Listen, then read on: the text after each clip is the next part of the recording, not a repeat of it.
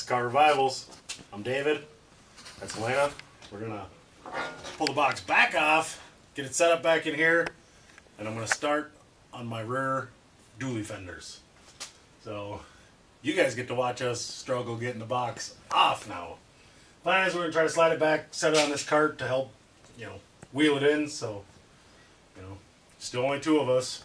So, yeah, let's get started. You ready for this? Yep. You can't even reach it, but okay.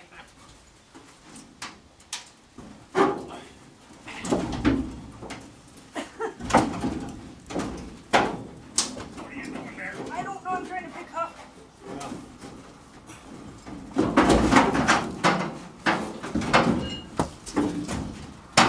It's hanging on the box. Yeah, well, we're over the fender now, so the tire. Not on, not on my side. Oh,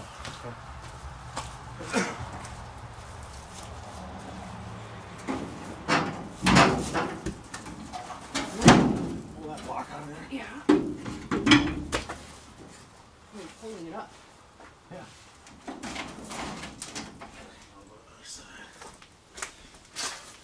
You're holding the whole thing up by yourself. No, I'm not. The truck is.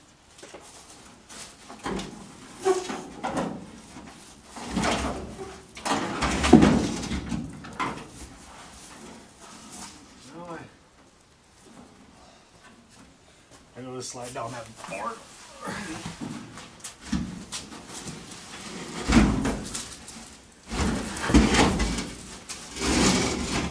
All right, now let's get the card in there.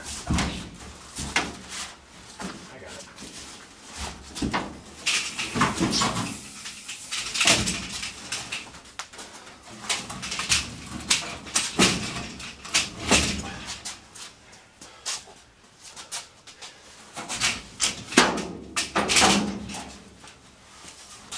Slide the card a little bit that way.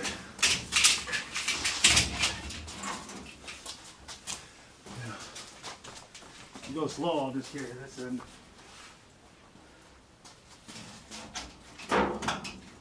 Tell me when. Now, let me get up here first.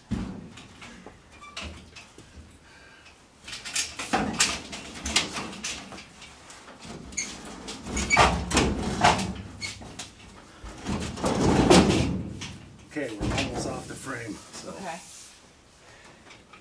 you might have to go to that side and then we'll.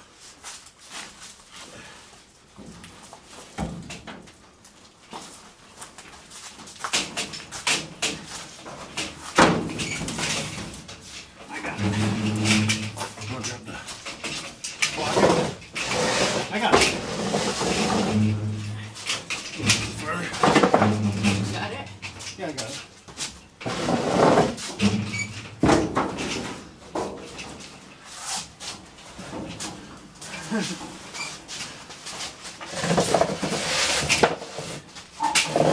Eighty cents a card. In front of that? Anyway, That's where you want it. no, let's put it on one of the cross beams. Okay. Since the front's already on it. Okay. Okay. I'll check the front.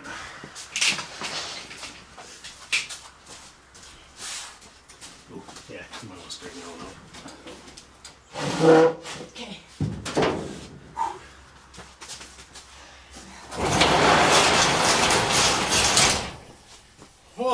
That was a handful. It definitely came off easier than it went on. You agree? I do. I was talking to, I was talking to Bob. Same Bob Chris knows. Whiskey Dents, I should say. So yeah, I'm gonna catch my breath. I'll be back in a minute. So I went to the junkyard and bought a set of front fenders off the exact same truck. I'm just gonna modify them to fit on the back. I think, I think it looks way better than having the dually fenders. So I gotta do some trimming.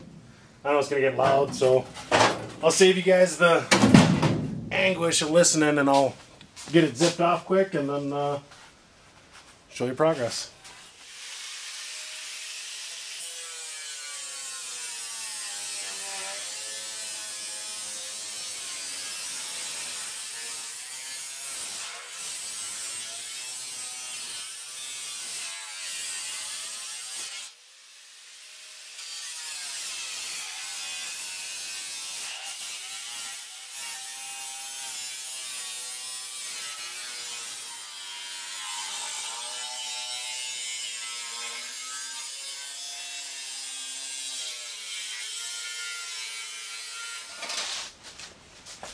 Kind of taking shape.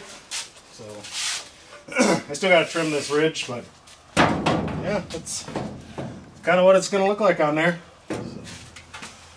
Look like the front, hopefully.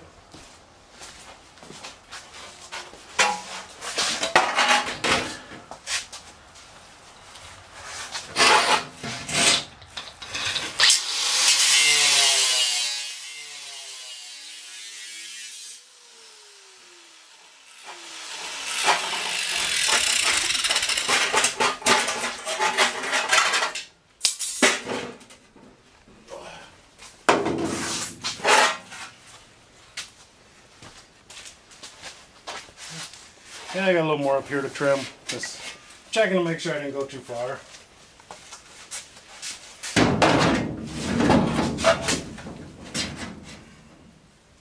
Oh yeah, a lot more front trim.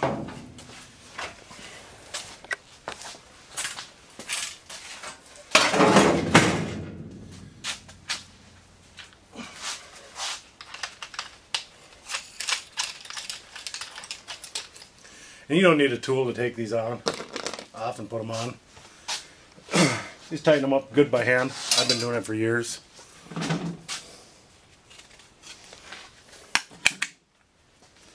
If you ever have one that you can't get off, just hold the button and smack it on something hard, the direction you want it to loosen up, and comes loose every time.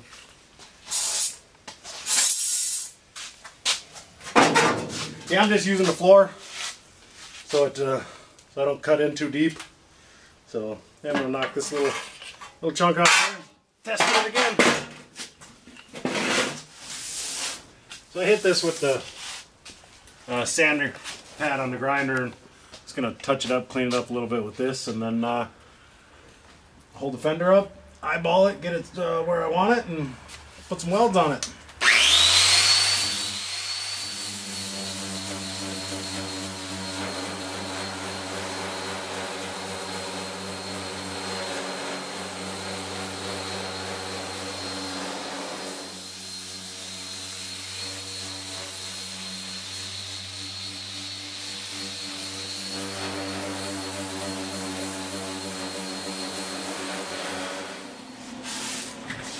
So there's, I don't know. When you're doing something like this, there's no right way or wrong way, but I do have the other side done already, so I've been comparing between the two, make sure my fenders are about the same width. But you'll never be able to see both sides at the same time, so as long as you're close.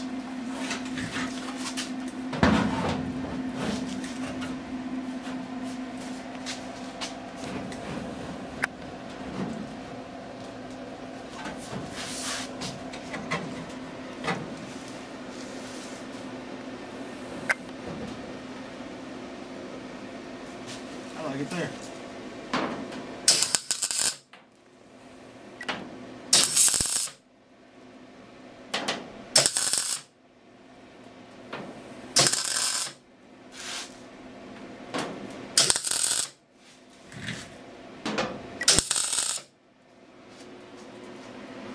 So I figured out what the problem with my welder was. my uh, ground cable was all corroded. So I cleaned that up and it's it's it's working pretty good now. Yeah, I'm gonna throw my shield on and throw it on a few more spots. I do have to trim this to match the other side. I just left it long for now. And then yeah, with the curve of the front fender, this is all the farther I could get out of it, so I do have to plate in some steel on the back side. Same with the front. There's quite a bit of a gap, but I don't know. What do you guys think? Comment, let me know. It's it's different. I'll show them the other side if you want. Don't don't look at the welds too much. My welder wasn't working very well. It was probably dark over here. And with this big dent, that threw me off. But I should probably should have spent some time popping that out. But it's a work truck. It's it's not going to be a show truck. It's going to be for fun, you know.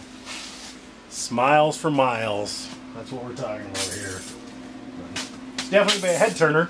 It's hard to miss. It's, it's as big as a house.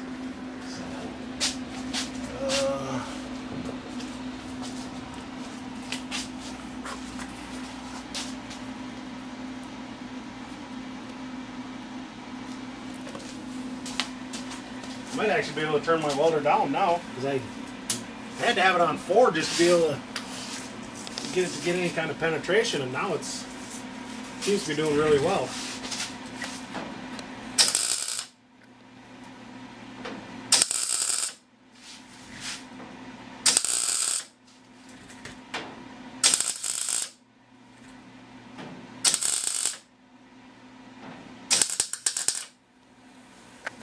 Actually not my welder. I borrowed it from my buddy Jimmy and two years ago. I haven't returned it yet, but he hasn't asked for it, so when he does, I'll, I'll give it back.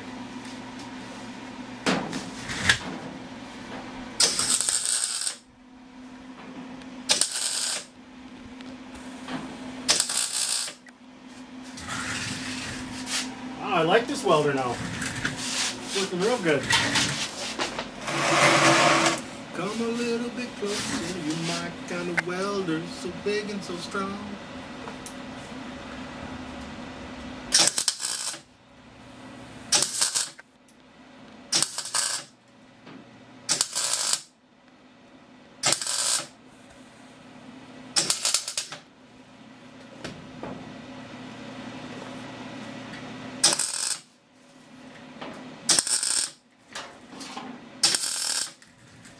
The trick is to jump around. Start at one end, and come back and start it again, and just give your welds time to cool.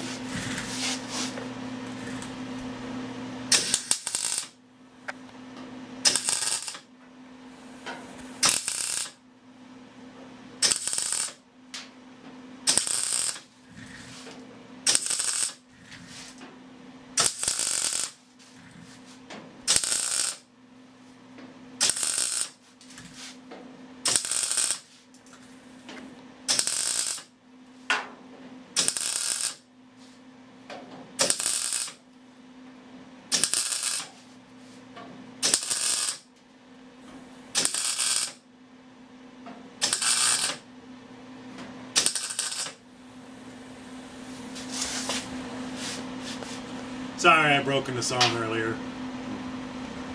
if I had a bucket, I still couldn't carry it to him. But, made good progress tonight. It's on here. Oh, and it's not gonna fall off. A little bit about me. I'm 43. I live in northern Minnesota, closer to Lake Superior. Um, we grew up in central northern Minnesota. I was originally born in just north of Chicago. My parents, they uh, both grew up down by Chicago, and uh, my dad used to come up to Turtle River and fish because my uncle lived up here. They'd come up and visit, and he absolutely loved the area. So, first chance he got, he bought some land and you know started building. They started their family. There's six kids, four boys, two girls. I'm the third oldest. Well, I'm the third from the oldest. And uh, I got two daughters, 22 and 19, 23 and 19. Sorry. And uh, one and a half year old grandson. And Selena, she's uh, pretty much been our daughter since she was little. I always came over and visited. Love her to death. Good kid. But, uh, yeah. I've always been into cars. I think my dad was the one that got me into it when we were kids. We'd be, uh, well, I think it, it was just me and him when he'd do this, but we'd be, uh, he'd come up to a vehicle to go to pass him and be like, Dad, pass him that way, pass him that way. So, and he had an old Ford, it was a 70, a 77 yellow, six cylinder, three speed on the tree. Not a powerhouse by no means, but he'd get up close to him and then he'd punch it and he'd get as close as he could before he'd shoot into the other lane. And I absolutely loved that kind of stuff growing up. And yeah, I've had I had multiple tickets before I even had my driver's license. That's that's, that's how I was. i I've always been uh, a gearhead and always been love being behind the wheel and having fun.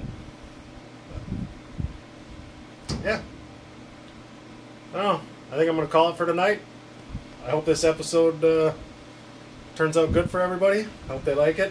So, make the plan, work the plan. What I did on this thing. It's turning out nice. I don't know if uh, I'm going to do another episode on this thing. I do have a set of headers and a four barrel intake. And then I got to figure out exhaust and mounting the box and yeah, I got to raise it six and a half inches. I got some ideas for maybe a little bit bigger tire in the back, give it a little bit of a stance. Maybe do some other stuff to add some weight to the back so it has so it's not such a horrible ride. Which, if I have six and a half inches between the the original frame and the box, I can you know maybe I'll pour some cement in there and add a add a thousand pounds to it so it has a nice uh, cushy ride all the time. But for now, I'm done. Like, subscribe, comment.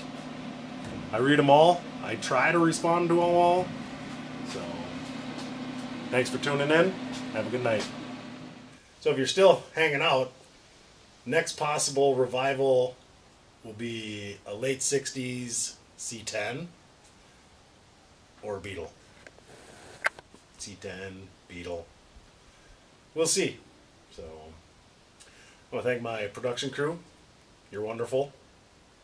She's also my wife. 15 years. Almost 16. 16 in December, right? Yeah. It's a long time to put up with me. So, alright, now I'm leaving. Have a good night. There it is. Dually box. Homemade dually box. No, it uh, turned out pretty good. It's uniform. It uh, doesn't have big bulky rear fenders on it. I kind of like it. I also put a visor on it. The old uh, Lund treatment. But no, I think it's turning out really cool. I got a bunch more welding to do. I got some filling some sheet metal spots for gaps down here on that side and this side. And, but no, Whiskey Dents is gonna bend me up a big drop bumper for the front of this thing. And then I got an idea for the back bumper. But next time you guys see this, hopefully all the welding is done and it's ready for paint and you can send it on down to somebody else that wants it. I'd love to keep it, but I can't keep them all.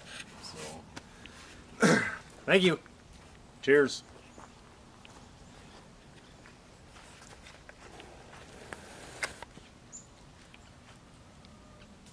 She's big, isn't she? Yeah, I'm. I'm five ten, so it's a good sized truck. Make Shaq look small.